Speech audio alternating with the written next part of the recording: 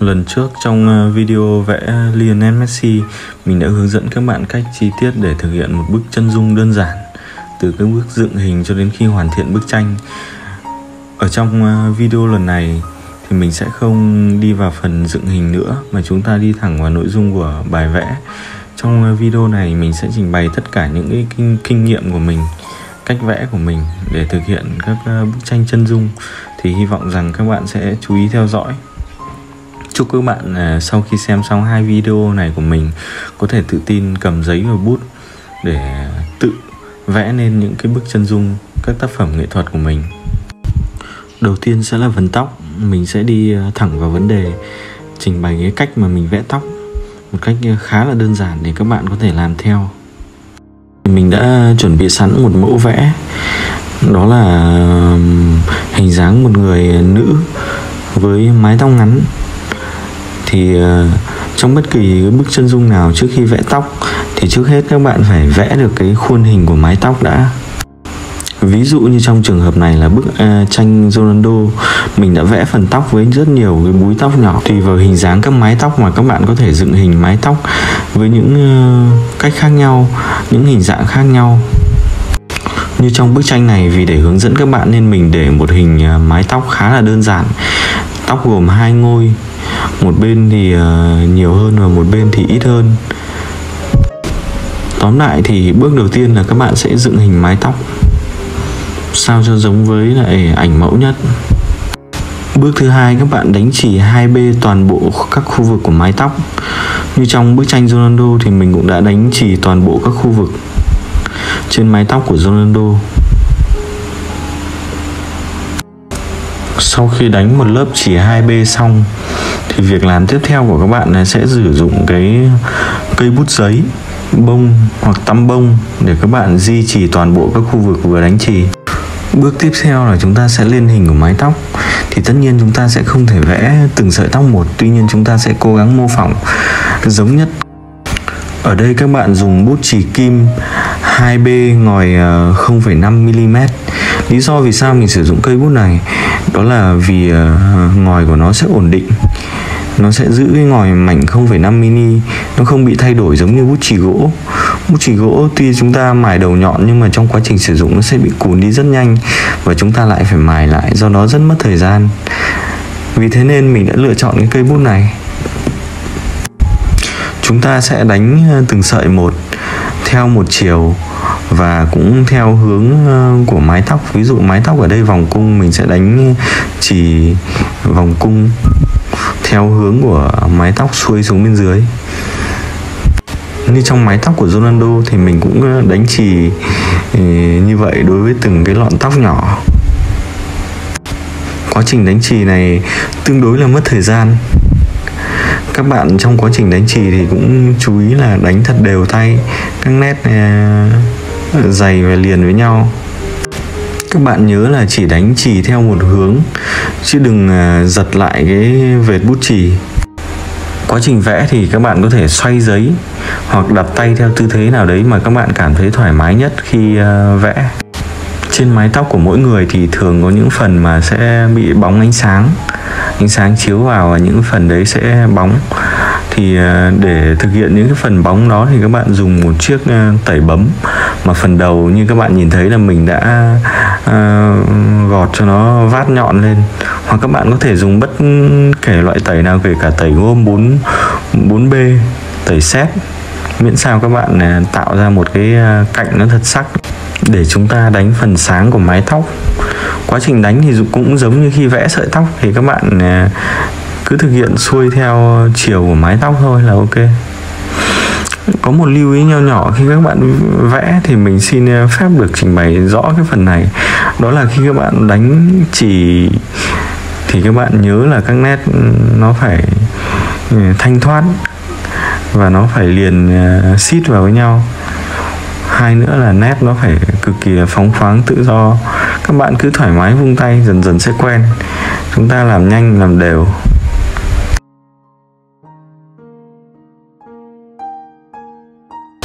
Việc các bạn cần tuyệt đối tránh đó là việc giật lại nét bút chì như trên ờ, video mình đang thực hiện.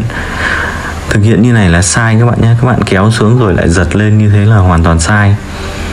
Đấy, những nét kiểu như thế là sai. Nét bút chì của chúng ta chỉ được phép ừ, theo một hướng. Đây, mình quay chậm mình không tua nhanh nữa mà mình để chậm cái cách mình vẽ đây mình kéo từ trên xuống và mình nhấc hẳn, nhấc hẳn bút chì lên và mình lại bắt đầu kéo một đường mới. Chứ mình không giật lại cái nét chì. Anh em nhớ cái đoạn này nhá.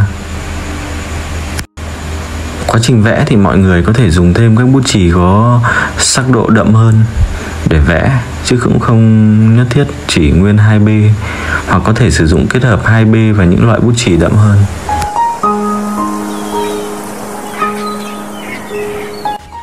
Như vậy là mình đã trình bày xong à, phần à, vẽ mái tóc. Về cơ bản thì nó cũng khá là đơn giản Chỉ cần các bạn tập trung luyện tập mà một chút là sẽ thực hiện được. Cho nó quen tay, nó đều tay đi Cũng dễ thôi. Bây giờ chúng ta đến một phần tiếp theo cũng khá là quan trọng Đó là phần thể hiện đôi mắt. Thì ở đây mình sẽ vẽ một cái con mắt đơn giản Để hướng dẫn các bạn thực hiện theo cách vẽ mắt của mình. Trước hết thì các bạn cần phải phân biệt cái việc mà sử dụng nguyên một trang giấy để vẽ một con mắt. Và việc vẽ một con mắt ở trên một bức chân dung nó hai việc đấy nó là hai việc hoàn toàn khác nhau. Con mắt ở trong những bức, bức chân dung của mình tương đối là đơn giản. Như đây các bạn có thể thấy mình sẽ vẽ một hình con mắt ra đây. Tô cái phần con người đen đen ở giữa mình sẽ dùng bút chì đậm 6B và tiếp tục à, tô cái phần lòng đen nó đen một màu đi. Đấy, tô đen hết toàn bộ. Xong các bạn tô lại cái phần à, diềm. Diềm của cái lòng đen ấy, cái phần rìa rìa ngoài ấy. các bạn tiếp tục tô đậm. Ở đây thì à, trong con mắt thì thường nó sẽ có bóng của ánh sáng, của nguồn sáng ấy thì các bạn có thể vẽ ngay từ đầu, hoặc khi, sau khi vẽ xong thì các bạn tẩy đi cái phần trắng đấy cũng được. Như đây là mình để một chút cái bóng nguồn sáng ở trong con mắt. Cái bóng nguồn sáng này thì có thể là hình tròn, hình vuông, hay bất kỳ cái hình dạng nào mà các bạn có thể nghĩ ra được. Thông thường sau khi vẽ xong hết con mắt thì mình sẽ dùng chỉ để mình tô cái phần đấy để cho nó nổi sáng lên như vậy. Sau khi ờ, xong tất cả các công công đoạn tô chỉ như trên thì mình sẽ sử dụng à, bút giấy, bông hoặc à, tăm bông để mình duy trì toàn bộ khu vực cái mắt, khu vực lọc đen nhé các bạn nhé. Sau đó mình sẽ à, chỉnh sửa lại, tô lại đường viền của lòng đen. Và chỉnh sửa sao cho nó cảm giác là ưng ý nhất. Các bạn có thể gần thấy thấy là gần như là toàn bộ cái phần con ngươi là sẽ thành à toàn bộ phần lòng đen là sẽ có màu đen chỉ nổi bật phần con ngươi. Sau đấy mình sẽ dùng cái tẩy xét mình nặn thành một cái mũi nhỏ và mình tẩy ở phần à, giữa lòng đen như các bạn để thấy. Một cái viền trắng xung quanh phần con ngươi. Mình tô cái viền trắng xung quanh phần con người nhìn nó sẽ um, giống thực tế hơn tiếp theo đấy các bạn sẽ ờ, sử dụng bút chì 2B các bạn vẽ những cái tia mắt. Thì tia mắt thì chạy là những cái đường hướng tâm những đường thẳng từ phần ờ, rìa hướng vào trong tâm. Một lưu ý nữa là khi các vẽ bất kỳ con mắt nào thì các bạn nên nhớ rằng là cái phần ờ, cái phần lông mi ở phía trên ý, cái phần đấy thường sẽ tối màu hơn tối màu hơn ở đây một phần là do khi ánh sáng chiếu vào thì phần đấy nó thường sẽ bị khuất sáng nên nó sẽ tối. Hai nữa là phần đấy là phần có khu vực lông mi trên rất rộng nên là nó sẽ tối hơn. Các bạn hiểu ý mình chứ tiếp theo sau đấy là mình sẽ tô nhẹ toàn bộ cái phần lòng trắng và cũng tiếp tục sử dụng cây di trì để di một lượt. Như vậy là một con mắt đơn giản mình đã thực hiện xong tiếp theo thì các bạn sẽ bổ sung thêm các phần như lông mi ờ, trên lông mi dưới đây, ở đoạn này các bạn có thể quan sát rất rõ cách mình vẽ đôi mắt chỉ lát nữa mình sẽ tẩy đi và và nó trông sẽ rất thật trong clip vẽ Messi thì mình đã hướng dẫn cách vẽ dâu đối với một người mà dâu rậm Tuy nhiên còn đối với một người mà đã cạo râu thì sao? Ví dụ như Ronaldo chẳng hạn. Lúc này chúng ta chỉ cần dựng bút chỉ lên và chấm những chấm nhỏ. Các bạn à, lưu ý là dựng vuông góc bút chỉ để chấm chấm thật gọn. Khu vực nào đậm các bạn sẽ chấm chấm dày và sử dụng bút chì à, đậm để chấm, còn khu vực nào nhạt thì ngược lại. Khá là đơn giản phải không các bạn?